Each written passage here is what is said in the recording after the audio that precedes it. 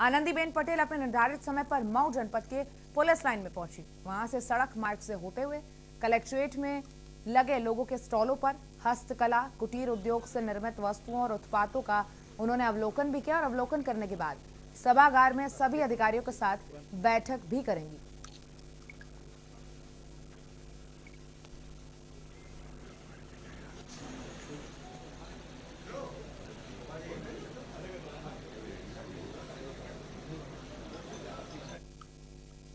और यहाँ रुकेंगे छोटा सा ब्रेक